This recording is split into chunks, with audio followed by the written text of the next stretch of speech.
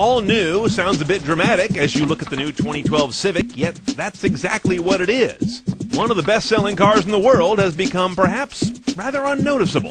Let's drive the 2012 Civic EXL with nav and check the tech. An all new Civic isn't like an all new Mustang. These are conservative cars. Updates include a less doughy face up front, a rump that appears to have been taken from a Dodge Neon, an economy mode with a big green button, a new 5 inch information screen, and standard stability control to keep all of this right side up.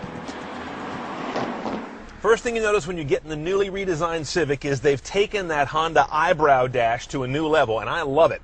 Right in the center, a big digital speedometer. On the side of that, two segmented bars. It'll change color from either deep blue if you're driving like a pig, blue-green if you're not too heavy on the throttle, and green when you're driving like a Prius driver. On the left side is a segment gauge for fuel. On the right is your instantaneous MPG. Then you've got this new thing on the right, which is a completely new idea for Honda. This big LCD info gauge that ties into the left side controller here. Notice the theme, big and readable. The display, also the controller. This I button takes me through, I think, a combination of three screen positions. This one here, which is date and time. The next one, which is media. And the third one, which is kind of everything. Fuel economy, media, date and time all rolled into one. That's the one I like. The same rocker lets you control your media. I can go track to track or station to station. If I hold the button down, it seeks the station. If I bump it once, it goes to my next preset. It's all very logical. Up and down gives you volume. And again, notice how all the graphics are very clear and easy to see at a glance. This is some nice interface work. And up here you've also got some of your basic vehicle setup menus. On the right hand side of the wheel is a similar controller for cruise control, and then down here I've got my hands-free calling and my voice command button, which still remains kind of separate in a Honda, which never made any sense to me. This also doesn't make any sense. Why the hell do I have a huge tachometer in this car with an automatic? Get rid of it. There's got to be something else we can put there. Maybe not, because everything I care about is up on the eyebrow. Over here's the economy button. This car has either a regular mode or push the green button, and you now have got a wimpy car. It tailors back all of its driving responses to encourage you to use less fuel. Here's something else I don't care about. This head unit. I'm tired of it. It's ancient. This is completely now at odds with the rest of the interface work Honda has done. This is the old school. The kind of crunchy graphics, the little tiny fiddly knobs, the small typography on the legends. This is like 2005 and this is 2011. This doesn't belong here anymore. The navigation system is entirely serviceable. It's just not any fun to deal with. You do have live traffic here under the little tiny information button. That'll show up as a list or on the map. Same dopey controller Honda's had for years, but I think it's actually gotten smaller. This little mushroom cap thing, what's the point in a car? Your optical disc is up here. And among your audio choices are that CD, AM, FM, XM radio, no HD radio, and I've also got my USB pigtail down here. Auxiliary analog is up here. And once I get a phone paired up, I have Bluetooth streaming as well as hands-free calling.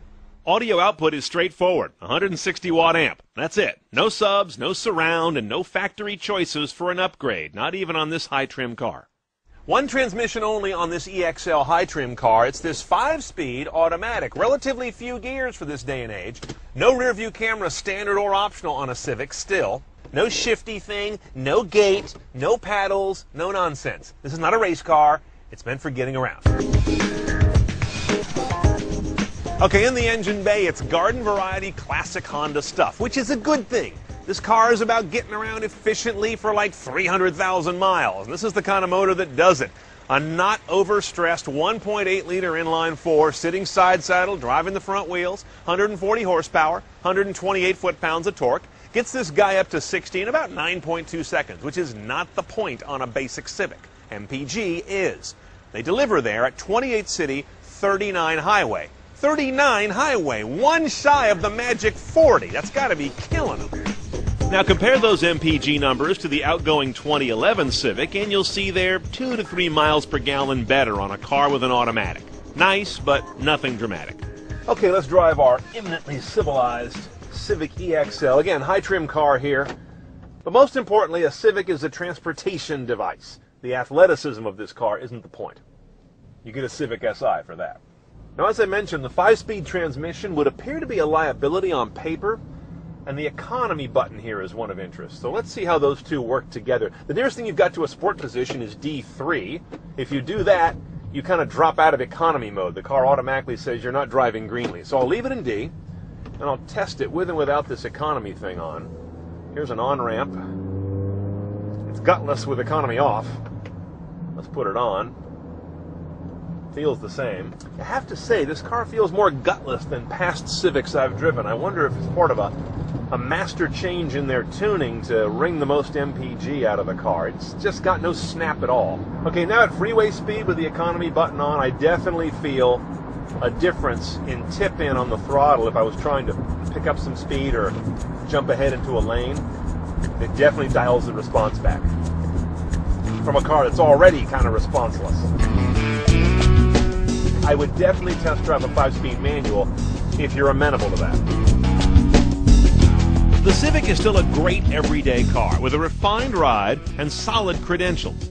But the Ford Focus, the Hyundai Elantra, and even the stodgy Corolla make the Civic less and less of a standout. A 2012 Civic EXL is going to run you about 22.7 out the door with destination. This is the high trim model, of course. Option or non-nav. It adds 1450, which is kind of cheap, but not cheap enough for that unit. I'm going to delete that and go aftermarket. Now, your other tech options, a dealer-installed remote start for 500 bucks. Oh, and by the way, the lower trim cars are available with a five-speed manual. This guy's automatic only.